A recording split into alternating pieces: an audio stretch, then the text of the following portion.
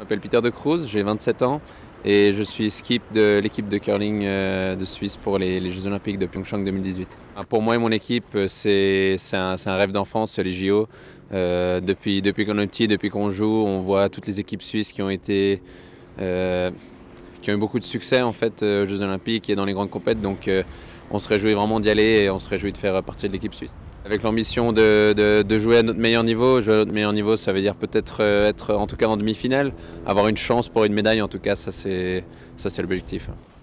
Les Jeux Olympiques, c'est une vitrine euh, une fois tous les quatre ans. Euh, pour notre sport, on est, presque le sport qui a le plus de direct à, la télévision, donc on est beaucoup plus sollicité par les médias et nos amis peuvent enfin nous suivre un petit peu à la télévision.